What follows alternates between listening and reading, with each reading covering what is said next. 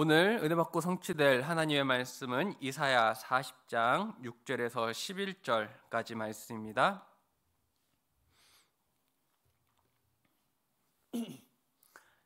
이사야 40장 6절에서 11절까지 말씀을 제가 봉독해 드리도록 하겠습니다.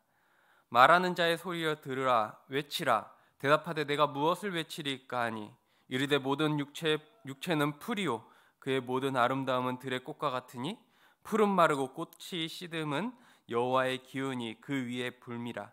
이 백성은 실로 풀이로다. 푸른 마르고 꽃은 시드나 우리 하나님의 말씀은 영원히 서리라 하라.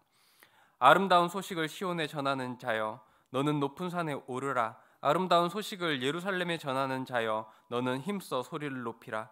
두려워하지 말고 소리를 높여 유다 성읍의, 성읍들에게 이르기를 너희의 하나님을 보라 하라 보라 주 여호와께서 장차 강한 자로 임하실 것이요 친히 그의 팔로 다스릴 것이라 보라 상급이 그에게 있고 봉이 그 앞에 있으며 그는 목자같이 양떼를 먹이시며 어린 양을 그 팔로 모아 품에 안으시며 젖 먹이는 암컷들을 온순히 인도하시리로다.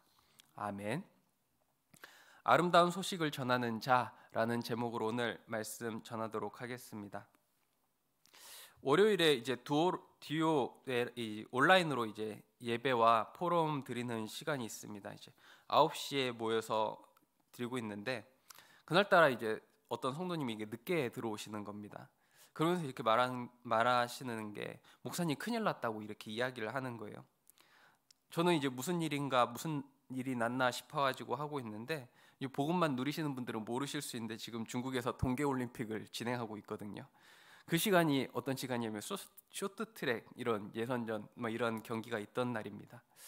우리나라의 효자 종목 매번 올림픽 시작 하면 이제 어, 금메달을 안겨줬던 이제 쇼트트랙을 하는 날이라 많은 국민들이 이제 그거를 보았나 봐요. 그, 지, 그 성도님도 그걸 봤나 봐요. 어, 저도 이제 끝난 다음에 이제 좀 찾아봤거든요. 그랬더니 아주 이제 나라가 지금 난리가 나고 있는 것 같더라고요. 저도 영상을 이렇게 보는데 순간적으로 화가 너무 나더, 나더라고요.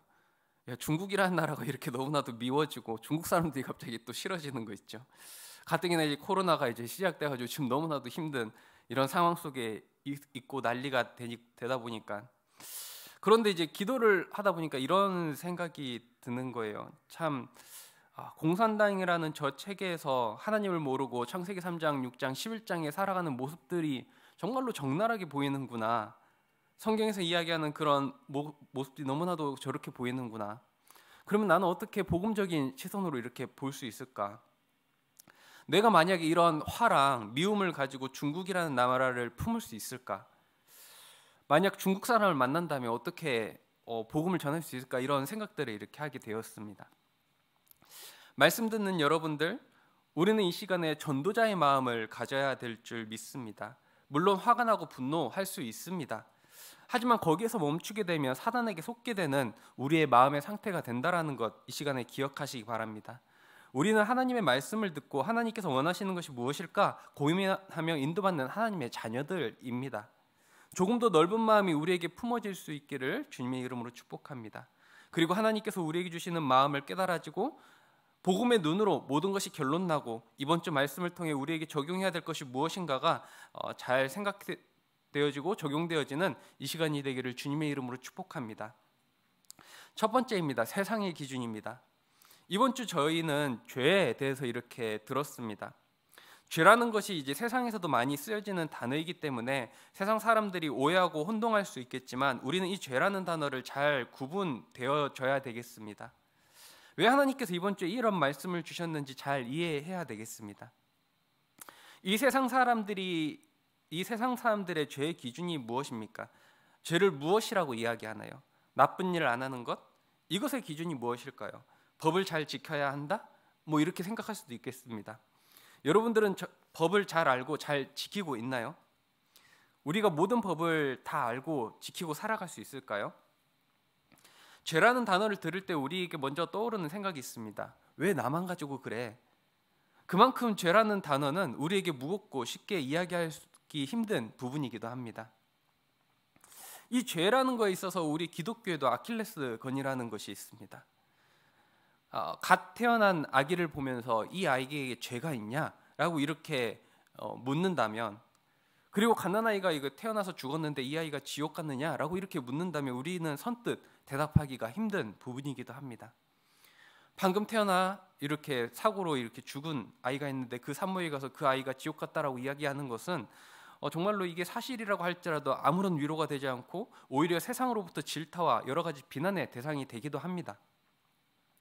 저도 어릴 적에 복음을 잘 모르고 교회에서 죄라는 것을 이야기하니까 어, 죄가 몇 살 때부터 생각나는 생겨나는 것이고 무엇을 해야 죄의 시작인가 생각을 했던 적도 있었습니다. 천주교는 이것을 교묘하게 이야기합니다. 아니다. 이런 아이가 아기가 지옥에 간 것이 아니라 연옥이라는 곳이 있는데 우리가 선행과 봉사 이렇게 열심히 하면 하나님께서 천국으로 보내신다라고도 이야기를 합니다. 우리가 보는 성경에는 연옥이라는 것이 없지만 천주교에서 보는 외경에는 그러한 한 구절이 있는데 이런 한 구절 가지고 온갖 인간의 좋은 생각들을 집어넣어서 복음을 희석시키고 있다라는 것 여러분들 기억하시기 바랍니다. 천주교가 이야기하는 것은 인간적으로 생각하는 게 좋은 게 좋은 거다라는 것을 굉장히 많이 이야기합니다. 제사 부모에게 드리는 거니까 공경하는 건 괜찮다라고 드리고 뭐 눈에 보이는 것 우상 어, 믿음을 좋게 할 수도 있으니까 뭐 이게 다 괜찮고 하나님의 기준이 아니라 세상의 기준, 사람의 기준으로 좋다고 온갖 좋은 것들을 다 가져다 복음을 희석시키는 것이 천주교라는 것도 기억하시는 여러분들 되셨으면 합니다. 그래서 어쩌면 기독교의 복음이 제일 반대되는 것이 다른 종교가 아닌 천주교다라고 이야기할 정도로 예수는 알지만 유일성의 복음을 제일 희석시키는 종교가 천주교라는 것도 이 시간 기억하시기 바랍니다. 그래서 또한 이것의 잘못이 무엇이냐? 구원을 하려면 구원을 받으려면 선행과 봉사, 노력이 필요하다라는 것을 오해시켜 버리는 이런 세상의 기준에 만들어 놓고 어쩌면 세상 사람들이 듣기에는 아 이것이 어, 이게 너무나도 좋고 옳은 것으로 생각하기 쉽게 어, 만들어 버린다라는 것입니다. 그러면서 이 세상을 살아가는데 구원의 확신은 전혀 없고 항상 눌림 속에 살아가야 되는 그들. 착하고 올바른 것 같은데 그리스도가 빠져버리는 그들. 우리는 오직 은혜인 줄 믿습니다. 우리가 신앙생활하는 것 정말로 하나님께서 주신 은혜를 하나님께서 우리에게 은혜를 주셨기 때문에 우리가 믿을 수 있다라는 것도 기억하시는 이 시간 되시기 바랍니다. 교회 생활하다가 하다가 힘들다고 생각되시는 분들이 있습니까? 오늘부터 생각 바꾸시기 바랍니다. 하나님께서 주시는 힘으로 신앙하는 것이 신앙생활이고 그래서 우리가 한 것이 아니라 하나님께서 하셨다라고 하는 우리의 고백이 되어야 될 줄 믿습니다. 저도 이렇게 아기가 태어났을 때 이렇게 자는 모습 천사같이 자는 모습을 보았을 때 이 보는 모습 보면은 이렇게 속을 때가 있습니다. 하지만 저도 이렇게 복음을 계속 듣고 이렇게 하다 보니까 이 아이에게도 복음만 필요하다.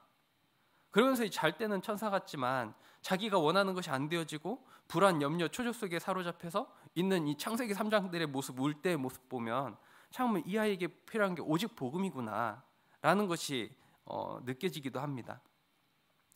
그래서 우리가 이 시간 다시금 어, 죄라는 것에 있어서 우리가 다시금 생각해야 될 죄는 무엇이냐? 요한복음 16장 9절에 죄에 대하여 함은 그들이 나를 믿지 아니함이라 하고라고 이야기를 합니다. 죄는 뭐라고요? 그들이 나를 믿지 아니하는 것이 죄다라고 예수님께서 직접 이야기하시는 것입니다. 성경이 이야기하는 죄의 기준은 인간이 하나님을 떠난 것, 하나님의 말씀을 불순종하여 하나님을 떠난 상태를 죄라고 이야기하고 있는 것입니다. 우리는 더 이상 세상의 기준으로 죄를 생각해서는 안 되겠습니다. 하나님께서 하나님의 말씀에 뭐라고 나와 있느냐를 깨닫고 알아가야 된다라는 것 기억하시기 바랍니다. 죄가 무엇이라고요? 관역에서 벗어난 것인데 하나님과의 관계가 벗어나 버린 것. 그래서 우리에게 있는 가장 큰 죄라고 이야기하고 있는 것입니다. 그래서 성경은 이야기합니다. 모든 사람이 죄를 범하였음에 하나님의 영광에 이르지 못하더니 죄 아래 있는 사람들을 바울은 어떤 상태에 있다라고 이야기를 하냐면 이번 주에 말씀을 다 읽진 않았지만 로마서 3장 9절부터 이렇게 나옵니다. 의인은 없나니 하나도 없으며 깨닫는 자도 없고 하나님을 찾는 자도 없고 다 치우쳐 무익되, 무익하게 되고 선을 행하는 자는 없나니 하나도 없도다. 그들의 목구멍은 열린 무덤이요 그 혀로는 속임을 일삼으며 그 입술에는 독사의 독이 있고 그 입에는 저주와 악독이 가득하고 그 발은 피 흘리는데 빠른지라 파멸과 고생이 그 길에 있어 평강의 길을 알지 못하고 그들의 눈앞에는 하나님을 두려워함이 없느니라 함과 같으니라. 제가 로마서 3장 9절부터 18절까지 이렇게 줄줄 읽어드렸습니다. 그렇게 율법을 성실하게 지켰고 모든 율법의 교육과 모든 행동에 있어서 열심히 살아가던 바울의 고백입니다. 나도 율법을 지킬 대로 지켰고 하나님을 열심히 믿는다고 했는데 결국 복음을 깨닫지 못하니까 사단의 종로로 떼어 예수님을 믿는 사람들을 죽이던 일에 행하던 사람이었다. 우리가 이런 상태에 있던 사람들이었다라고 바울이 고백하는 것입니다. 그런데 이방인들이 조금 이상한 행동을 한다고 자기의 문화들이 아직도 조금 바뀌지 않는다고 그들에게 있어서 율법을 지켜야 구원 얻는다. 너 왜 그렇게 사느냐고 율법의 판단에 정죄를 하는 그들에게 그들을 향해서 바울이 간절하게 편지를 쓰고 있는 것입니다. 요즘 로마서를 이렇게 읽게 되어지다 보면 어, 우리의 불신자 상태를 너무나도 적나라하게 잘 묘사하고 있는 듯합니다. 바울이 왜 이런 것들을 반복하면서 이야기하고 있는지, 얼마나 자신이 복음을 몰랐을 때는 고통 중에 헤매고 있었는지 잘 묘사하고 있습니다. 그래서 우리가 누려야 될 복음이 무엇인가를 더욱더 간절히 적을 수 있었던 것 같습니다. 여러분, 바울도 예수님이 그리스도이시구나라는 복음을 깨닫고 전하는 삶을 살아감에 있어서 그냥 단순히 예수님이 그리스도다라고 이야기하는 것이 아니라 정말로 복음을 더 깨닫고 믿고 누리다 보니 나의 불, 나의 불신자였던 상태가 더욱더 발견되어지고 이렇게 적나라하게 느끼면서 살아가고 있는데 하물며 우리라고 조금 믿는다고 안다고 우리가 복음이라고 하는 것을 너무나도 쉽게 여기고 있는 건 아닌가. 그러면서 우리도 그 유대인들처럼 율법 조금 지키면서 이방인들을 향해 너희가 구원을 받을 수 있겠냐라고 이렇게 이야기하는 것 무엇, 무엇이 다를까요? 복음을 조금 안다고 해서 이렇게 하면 안 되고 저렇게 하면 안 되고 판단하고 정지하기 바쁜 우리의 모습이 지금 로마서의 모습과 똑같지 않을까요? 복음으로 답을 주고 살릴 수 있는 우리의 신앙생활 되기를 주님의 이름으로 축복합니다. 두 번째입니다. 하나님의 기준입니다. 로마서 3장 20절에는 분명히 이야기합니다. 율법의 행위로 그의 앞에 의롭다 하심을 얻을 육체가 없나니 율법으로는 죄를 깨달음이니라. 이제는 율법에 하나님의 한 의가 나타났으니 율법과 선지자들에게 증거를 받은 것이라 곧 예수 그리스도를 믿음으로 말미암아 모든 믿는 자에게 미치는 하나님의 의니 차별이 없느니라. 율법 외에 한 의가 나타났다라고 이야기를 하고 있습니다. 우리에게 있어서 참된 의가 무엇입니까? 예수님이 그리스도 되어 주신다라는 것입니다. 그리고 모든 믿는 자에게 주시는 하나님의 의니 이것은 차별이 없다라고 성경은 분명하게 이야기를 하고 있습니다.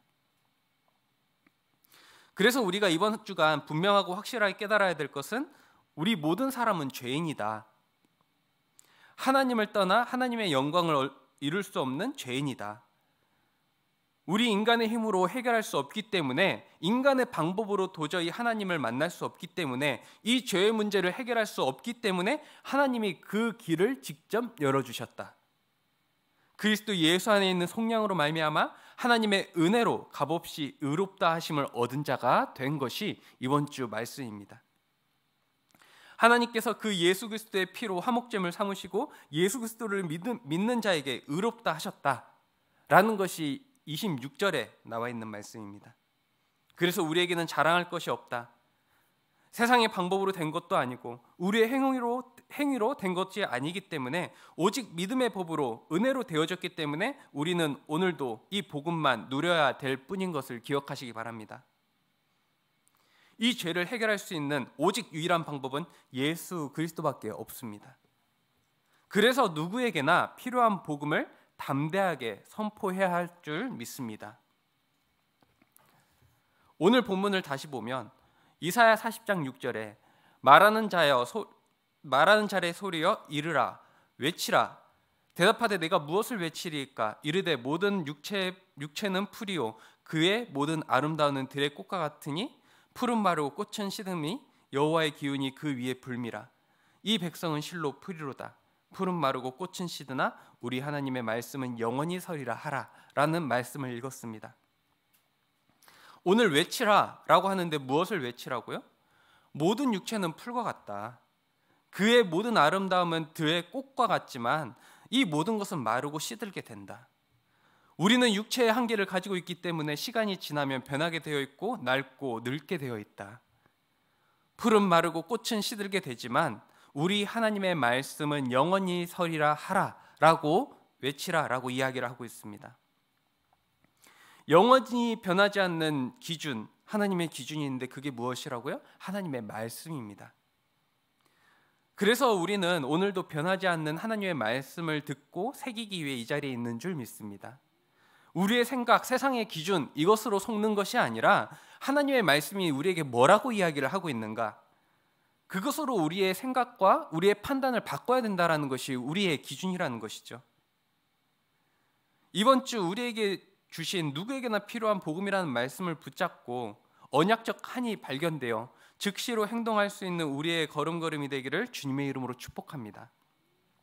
결론입니다. 아름다운 소식을 전하는 자, 우리에게 아름다운 소식이 무엇인가 다시금 정리되는 시간이 되었으면 합니다. 우리에게 복음은 우리에게 있어서 복음이 정말로 우리가 전해야 될 최고의 아름다운 소식인 줄 믿습니다. 오직 그리스도만이 우리가 전해야 할 소식이라는 것입니다. 저기 죄로 죽어가고 있는 그들에게 영적으로 사로잡혀 귀신이 보이는데 귀신이 보이고 말씀을 듣는데 몸이 꼬여가는 그들에게 착하게 살아야 된다. 선행해야 된다, 봉사해야 된다라고 하는 이야기하는 것이 저, 그들에게는 전혀 필요가 없다라는 것입니다. 오직 그리스도만이 너의 그 문제를 해결할 수 있는 유일한 해답임을 선포해야 된다라는 것입니다. 저기 우울증으로 고생하는 그들에게 어, 좀 행복하게 살라고 하는 것이 그들에게 답이 되지 않는다라는 것입니다. 당당하게 예수가 그리스도이심을 선포하는 우리의 삶이 되기를 주님의 이름으로 축복합니다. 아름다운 소식을 전하는 온 세상이 전하는 예언의 성도님들이여 우리는 힘써 소리를 높여야 할 줄 믿습니다. 두려워하지 말고 소리를 높여 온 세상 사람들에게 이르기를 하나님을 보라 예수님은 그리스도이시다라고 증거해야 될 줄 믿습니다. 그럴 때 주 여호와께서 장차 강한 자로 임하실 것이고 친히 그의 팔로 다스릴 것이다라고 우리에게 분명히 말씀해 주셨습니다. 또한 우리에게 상급과 보응이 우리에게 준비되어 있음을 약속하신 것이 오늘 이번 주 하나님의 말씀입니다. 오늘도 하나님의 말씀을 기억하시며 나의 마음을 새기시며 현장 가운데 누리시며 승리하는 예원의 성도님들 되시기를 주님의 이름으로 축복합니다.